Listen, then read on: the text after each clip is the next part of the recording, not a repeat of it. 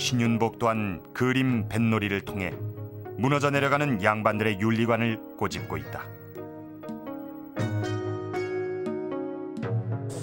이 하얀 때는 뭘 의미하냐면 상중이라는 뜻이거든요. 근데 이 상중에 이 사람이 지금 이렇게 기녀들하고 나와서 뱃놀이를 하는 거죠.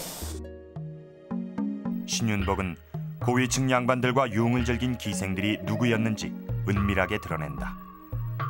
가리마를 쓴 여인은 궁궐의 의녀다.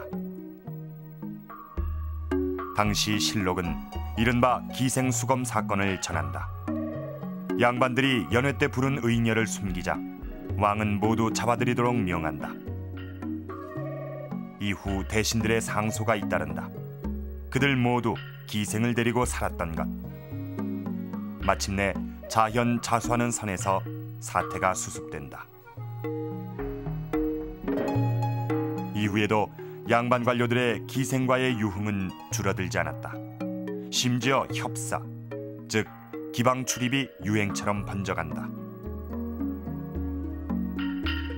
광화문 남쪽 가장 넓은 곳, 젊은이가 많으니 기생집이 육조 앞에 있는 것을 알겠도다.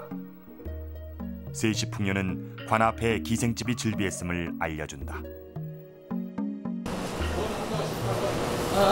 당시 협사, 즉 기방이 있었던 곳은 육조거리와 다닥골로 모두 지금의 중구 다동 일대다. 협사는 길이 구불구불한 골목이란 뜻으로 기생들이 살았던 골목의 모습에서 연유됐다. 피가가 있는 인적이 드문 언덕.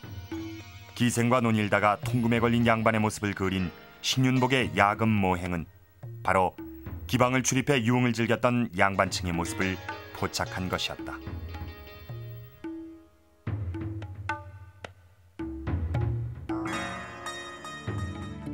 사실적인 묘사와 은밀한 상징을 통해 양반들의 유흥 현장을 꼬집은 신윤복. 그의 그림 속엔 또 다른 장치가 숨어 있다. 두 장의 연결된 그림이다.